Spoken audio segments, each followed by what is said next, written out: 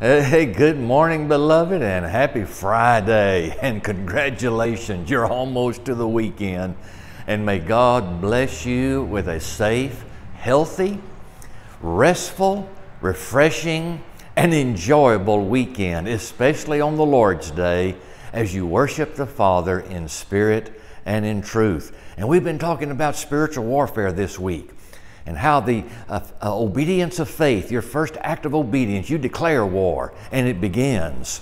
And the weapons that we have are not of, of the flesh, they are spiritual, the spiritual character of Christ that uh, we have when His life is your life, that, uh, the, the, and develops through uh, training. The, the character develops, and, uh, and so uh, when we say develops, we're talking about spiritual disciplines. Every soldier knows you, you're not given a weapon until you go through training, a lot of training, and that training never ends. It's ongoing uh, all the time, especially in uh, combat zones. You don't stop training. And for the believer, it's even more so. And when we talk about training for the believer, we're talking about spiritual disciplines that develop that character, which is our weapon. So, the spiritual disciplines of Bible study and meditation and prayer, personal uh, uh, uh, disciplines of fasting, secret uh, ministry and service, as well as corporate disciplines of worship and small group Bible study and ministry alongside of others.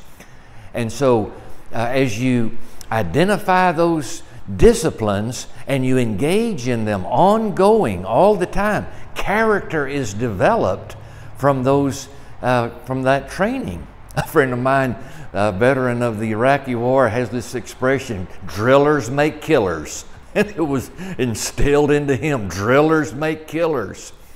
And our enemy of the world, the flesh, and the devil, we're out to destroy pride. And pride is so deceptive, always present, always uh, deceptive, hidden many times. But those drills, uh, drillers make killers, and those drills will expose pride so that it can be killed. Listen, beloved, pride uh, will not be rehabilitated with Bible studies and, and, and conferences and education. Pride has only one uh, outcome, and that for a believer, and that's death the cross. And so let's remember drillers make killers. And let's engage in those spiritual disciplines to develop a godly character, the character of Christ, for that light to shine and expose what needs to be crucified today, taken to the cross. And, uh, and also remember this, beloved we don't fight for victory, we fight from victory.